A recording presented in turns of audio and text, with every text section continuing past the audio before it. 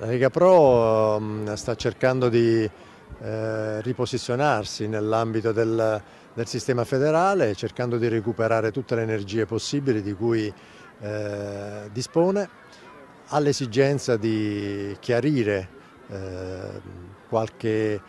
problema del passato, quindi creare un diaframma, e questo lo farò eh, in tempi rapidi, tra quella che è stata una vecchia gestione e l'attuale gestione che è proiettata verso il futuro, quindi recuperare energie, trasformare,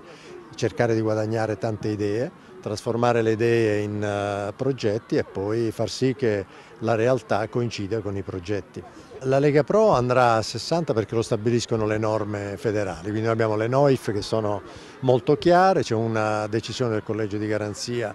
che eh, sancisce ancora una volta il principio del format. Su questo poi ci interrogheremo in futuro per capire se la Lega Pro è in grado di poter reggere questo, questo format, ma lo faremo eh, all'interno del, della capacità delle società di sapersi autodeterminare. Eh, la comunicazione è importante, è importante perché la Lega Pro eh, oggi deve recuperare un valore fondamentale che è il valore del suo brand, deve lavorare appunto nella valorizzazione dei progetti, si deve impegnare nel far sì che questi progetti siano non progetti di routine, progetti eh, sicuramente da condividere nel sistema, ma devono essere innovativi.